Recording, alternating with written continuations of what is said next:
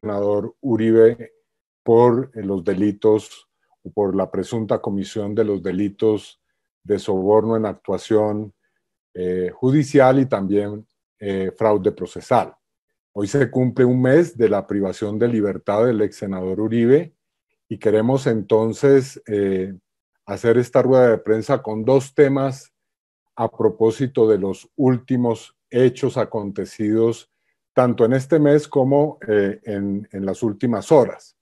Voy a referirme a dos temas concretamente. En primer lugar, a la campaña de presiones, manipulaciones y amenazas que ha desarrollado el senador Uribe, su familia, su partido político y el propio gobierno. Y en segundo lugar, a una decisión que conocimos en la noche de ayer, eh, decisión del eh, fiscal general Francisco Barbosa, eh, en la que se designa al fiscal delegado ante la Corte Suprema de Justicia, Gabriel Jaimes, como encargado de esta investigación. Entonces, en primer lugar, en este mes hemos asistido a una infame campaña contra los magistrados de la Corte Suprema de Justicia. Hemos visto cómo contra, eh, especialmente contra el magistrado Reyes, eh, se ha desarrollado toda una operación de desprestigio eh, y de cuestionamiento. El eh, ex senador Uribe no tuvo ningún reato para tildar a los magistrados y a la corte de ser mafiosos y secuestradores, y a pesar de que él insiste junto a sus defensores eh, en que no se le han entregado o dado las garantías en este proceso, en la práctica, estando en una situación de privación de libertad, lo que ha hecho es incitar a la opinión pública desde su gran hacienda para que se cometa una especie de asonada contra la Corte. Por estos motivos, debo recordar, hemos denunciado penalmente al ex senador Uribe por los delitos de calumnia e injuria.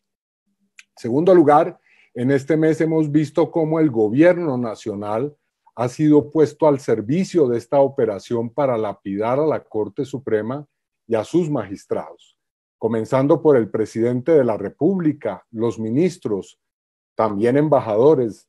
Eh, se, han, se ha utilizado el gobierno para esta gigantesca campaña y se ha utilizado las relaciones diplomáticas de Colombia para ejercer presión desde el gobierno de los Estados Unidos contra la Corte Suprema.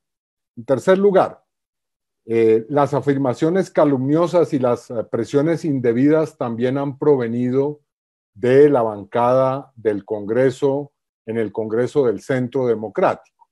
De una parte se ha divulgado información falaz y se ha hecho afirmaciones calumniosas en mi contra y en contra de mi familia, y de otra se han presentado solicitudes el 24 de agosto y el 1 de septiembre valiéndose eh, del recurso al derecho de petición y utilizando la investidura de congresistas para intentar obtener información que no guarda ninguna relación con mis funciones públicas, como lo prevé la ley, y que por el contrario está relacionada con la investigación eh, que se sigue contra el ex senador Uribe. Por esta eh, circunstancia, y este es un, un anuncio que hacemos hoy, vamos a pedirle al señor procurador general que investigue a 16 congresistas del Centro Democrático por abuso de funciones. Eh, en cuarto lugar, he sido víctima en este mes de una luz de amenazas, seguimientos y hostigamientos. El pasado, en el pasado mes denuncié esta circunstancia, pero debo agregar que desde el momento en que hice públicos esos anuncios sobre amenazas, hostigamientos y seguimientos, esa situación se ha recrudecido hasta el día de hoy, se han multiplicado esas amenazas por vía de correo electrónico y de redes sociales. Unas de, algunas de mis páginas en Internet han sido hackeadas y eh, como ustedes saben, denuncié penalmente eh, al hijo del ex senador Uribe, al señor Tomás Uribe, solicité eh, que en una denuncia que se había formulado desde octubre de 2019, pues se produzca ya y se programe una diligencia de imputación de cargos en su contra. debo llamar la atención de que vamos a cumplir un año de hecha esta denuncia ante la Fiscalía sin que se haya movido absolutamente nada y que no se haya producido ningún resultado, lo cual también pues nos inquieta con relación al papel de la Fiscalía. Y por último, con relación a esta gran campaña contra la Corte Suprema, contra la parte civil, contra las personas que denunciamos eh, el intento por silenciar a la justicia, hay que destacar que se ha contratado eh, con una eh, multi, bueno, con, con, miles de dólares, una agencia de lobby publicitaria en Estados Unidos que ha comenzado una campaña con el nombre de Free Uribe, una campaña que ha hecho su inauguración eh, con una extensa nota en la cual se me cataloga de aliado de terroristas. Estamos estudiando cómo proceder con relación a esa campaña difamatoria en, Estados Unidos. Eh, con relación a todos esos hechos, anunciamos que vamos a enviar en las próximas horas un completo informe a la señora Michelle Bachelet, alta comisionada de la ONU para los Derechos Humanos, y también a la Comisión Interamericana de Derechos Humanos, dando cuenta de todas estas situaciones que en la práctica buscan eh, eh, no solamente una presión, sino incluso incitar a la violencia por parte de Uribe y sus seguidores. El segundo tema lo resumo rápidamente. Eh, se ha comenzado a actuar de manera abiertamente ilegal en la Fiscalía General de la Nación como nos lo estábamos temiendo. A pesar de que fue recusado y que fue informado de esa recusación, el fiscal Barbosa eh, expidió ayer la resolución número 0-0981 designando al señor fiscal delegado ante la Corte Suprema de Justicia, Gabriel Jaimes, como encargado de la investigación eh, al ex senador Uribe. El fiscal Barbosa violó el artículo 62 de la ley 906 de 2004 que dice a propósito de la suspensión de la actuación procesal por cuenta de una recusación. Dice lo siguiente el artículo, lo leo textualmente. Desde cuando se presente la recusación o se manifieste el impedimento del funcionario judicial hasta que se resuelva definitivamente, se suspenderá toda actuación. Por eso, con relación a este hecho, también anunciamos las siguientes acciones. Vamos a denunciar penalmente al fiscal Francisco Barbosa ante la Comisión de Investigación y Acusación de la Cámara de Representantes por haber burlado la solicitud de recusación formulada por la parte civil de la cual él estaba debidamente notificado. Y en segundo lugar, advertimos que en caso de quedar en firme la designación del fiscal delegado ante la Corte Suprema de Justicia, Gabriel Jaimes, vamos a estudiar y presentar una recusación por sólidos motivos que oportunamente haremos conocer a la opinión pública en contra de este funcionario.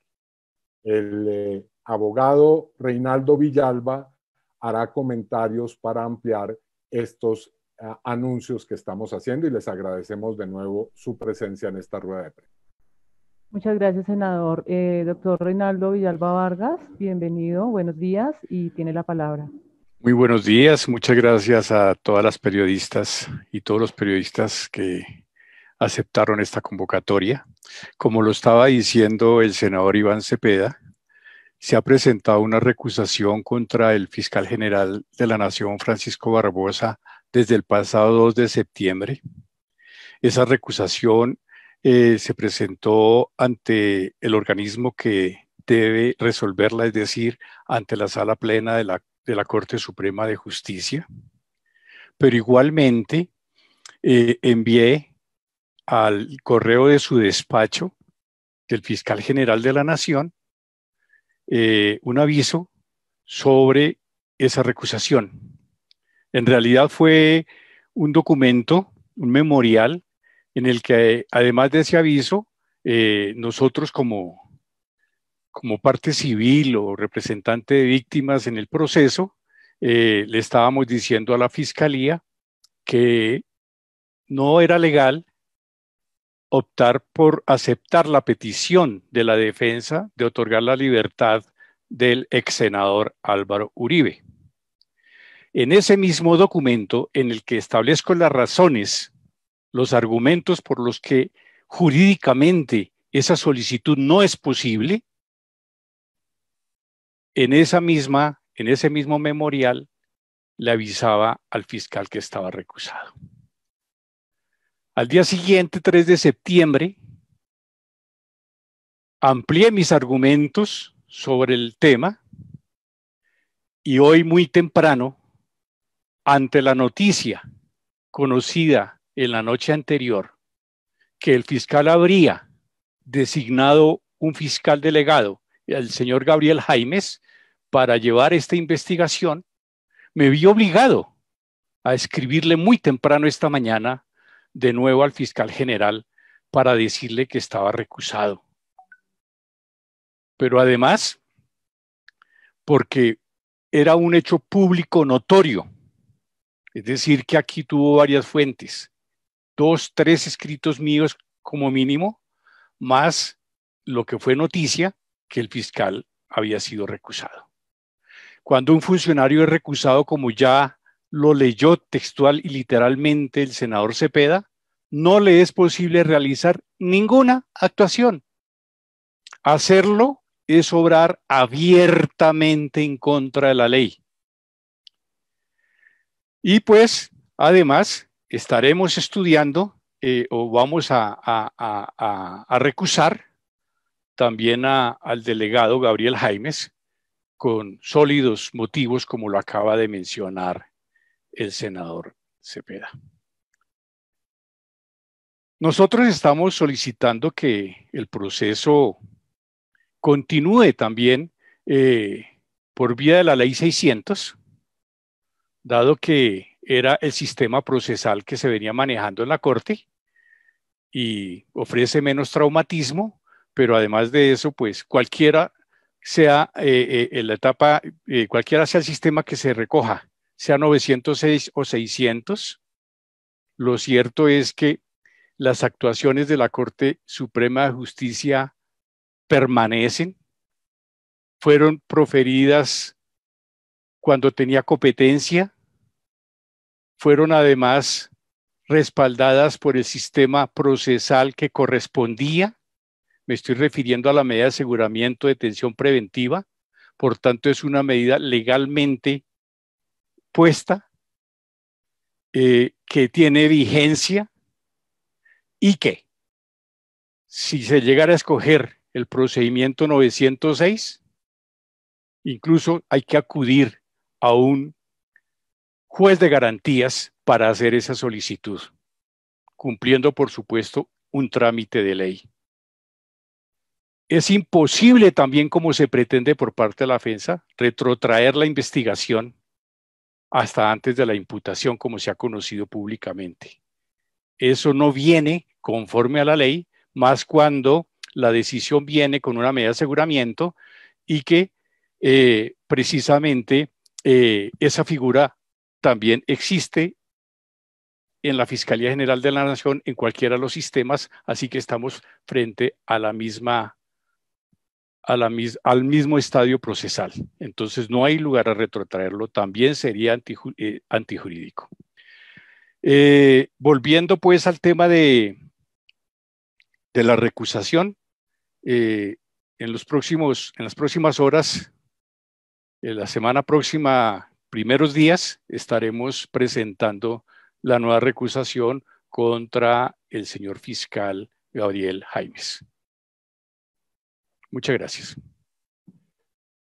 Eh, si me permiten solamente un comentario adicional, nosotros estamos temiendo que esta eh, grosera actuación del señor fiscal Barbosa implique que de una manera totalmente eh, descarada y cínica se comience a agredir la legalidad en este proceso.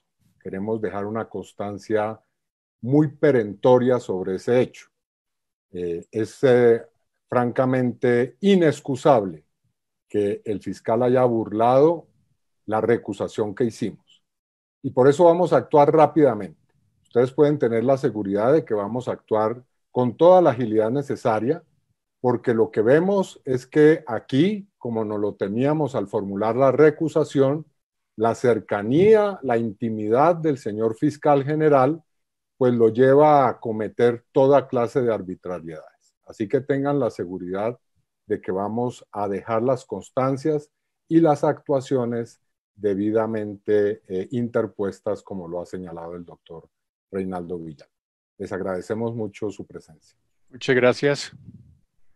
Muchas gracias a todas y todos los asistentes. Gracias, senador Iván Cepeda. Gracias al doctor Reinaldo Villalba. Eh, y bueno, vamos a seguir pendientes de este proceso. Muchas gracias por